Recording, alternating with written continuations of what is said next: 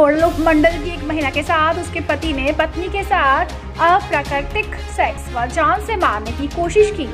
पति अप्राकृतिक यौन संबंध बनाने का देता था दबाव।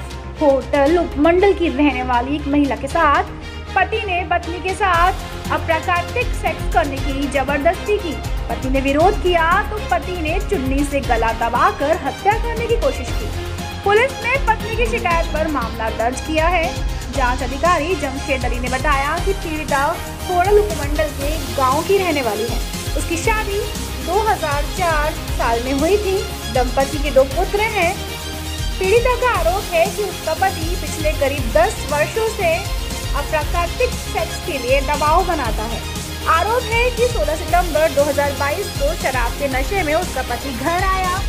आते ही अप्राकृतिक सेक्स के लिए ज़बरदस्ती करने लगा। मना करने पर पत्नी को लात घूसों से पीटा। सत्रह सितंबर को उसके साथ मारपीट की। पत्नी ने मोबाइल से अपने मायके वालों को बता दिया। कुछ देर बाद पति आया और पत्नी को चुन्नी से गला दबाकर हत्या करने का प्रयास किया। फ़िलहाल पुलिस मामले की जाँच कर रही है।